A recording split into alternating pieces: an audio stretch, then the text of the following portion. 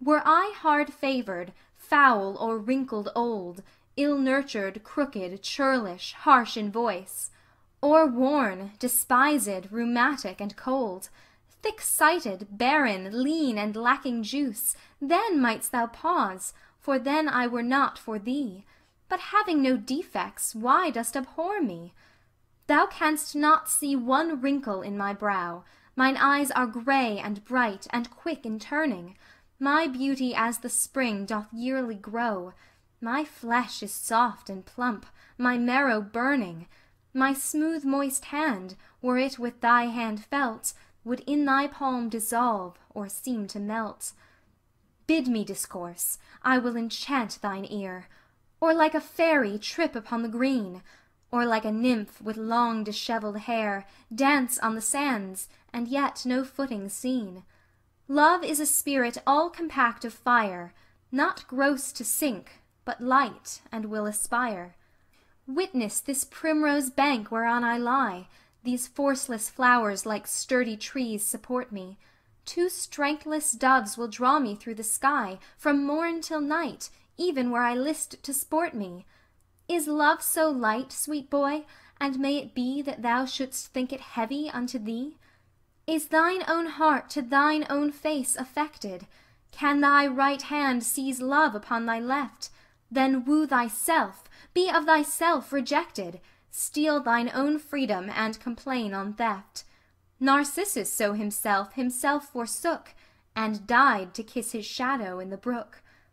Torches are made to light, jewels to wear, Dainties to taste, fresh beauty for the use herbs for their smell, and sappy plants to bear; things growing to themselves are growth's abuse; seeds spring from seeds, and beauty breedeth beauty; thou wast begot; to get it is thy duty.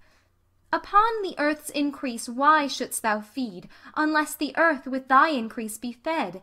By law of nature thou art bound to breed, that thine may live when thou thyself art dead. And so in spite of death thou dost survive, In that thy likeness still is left alive. By this the love sick queen began to sweat, For where they lay the shadow had forsook them; And Titan, tired in the midday heat, With burning eye did hotly overlook them, Wishing Adonis had his team to guide, So he were like him, and by Venus' side. And now Adonis with a lazy sprite, And with a heavy, dark, disliking eye, His lowering brows o'erwhelming his fair sight, Like misty vapours when they blot the sky, Souring his cheeks, cries, Fie! no more of love! The sun doth burn my face, I must remove. Ay me! quoth Venus. Young, and so unkind? What bare excuses mak'st thou to be gone? I'll sigh celestial breath, whose gentle wind Shall cool the heat of this descending sun. I'll make a shadow for thee of my hairs; If they burn too, I'll quench them with my tears. The sun that shines from heaven shines but warm, And lo, I lie between that sun and thee. The heat I have from thence doth little harm; Thine eye darts forth the fire that burneth me. And were I not immortal, life were done Between this heavenly and earthly sun. Art thou obdurate, flinty, hard as steel? Nay, more than flint, for stone at rain relenteth. Art thou a woman's son, and canst not feel What 'tis to love, how want of love tormenteth? Oh, had thy mother borne so hard a mind, She had not brought forth thee, but died unkind. What am I that thou shouldst condemn me thus? Or what great danger dwells upon my suit? What were thy lips the worse for one poor kiss? Speak, fair; but speak fair words, or else be mute. Give me one kiss, I'll give it thee again, And one for interest, if thou wilt have twain. Fie, lifeless picture! cold and senseless stone! Well painted idol, image dull and dead, Statue contenting but the eye alone thing like a man, but of no woman bred. Thou art no man, though of a man's complexion, for men will kiss even by their own direction. This said, impatience chokes her pleading tongue, And swelling passion doth provoke a pause; Red cheeks and fiery eyes blaze forth her wrong. being judge in love she cannot right her cause.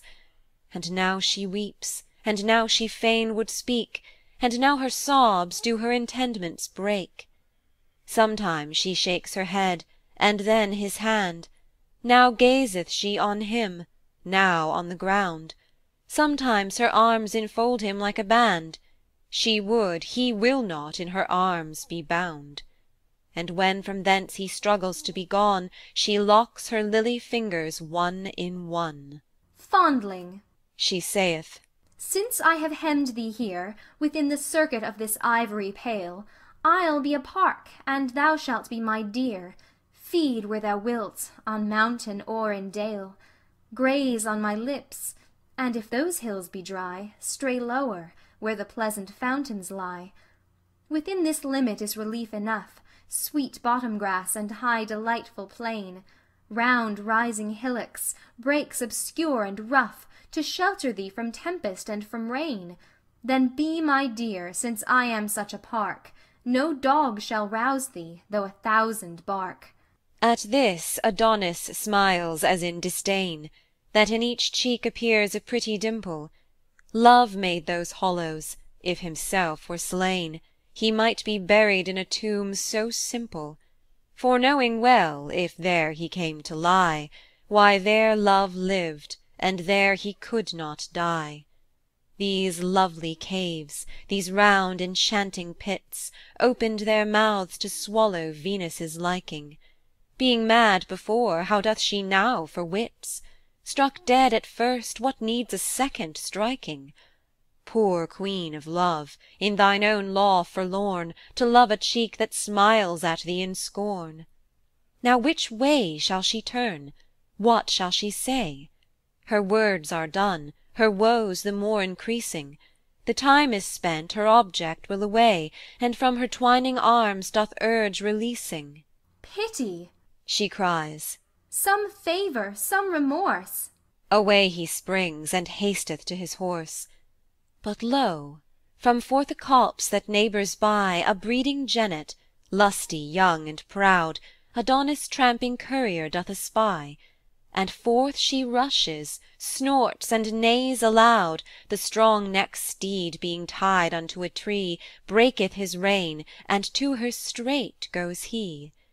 Imperiously he leaps, he neighs, he bounds, And now his woven girths he breaks asunder, The bearing earth with his hard hoof he wounds, Whose hollow womb resounds like heaven's thunder; The iron bit he crusheth 'tween his teeth, Controlling what he was controlled with. His ears uppricked, his braided hanging mane Upon his compassed crest now stand on end. His nostrils drink the air, and forth again, As from a furnace, vapours doth he send.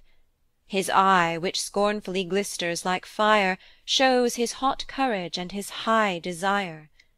Sometime he trots, as if he told the steps, With gentle majesty and modest pride; Anon he rears upright, curvets and leaps, As who should say, Lo! thus my strength is tried, And this I do to captivate the eye Of the fair breeder that is standing by. What recketh he his rider's angry stir, His flattering Holla! or his Stand, I say? What cares he now for curb or pricking spur, For rich caparisons or trapping gay? He sees his love, and nothing else he sees, Nor nothing else with his proud sight agrees. Look when a painter would surpass the life In limning out a well proportioned steed, His art with Nature's workmanship at strife, As if the dead the living should exceed, So did this horse excel a common one, In shape, in courage, colour, pace, and bone.